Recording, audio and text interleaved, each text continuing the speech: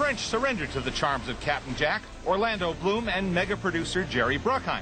And inside the theater, Monsieur Depp received an award from the mayor. Très touché. The city of Paris certainly has been very kind to me. You know, it introduced me to my uh, my beautiful girl Vanessa.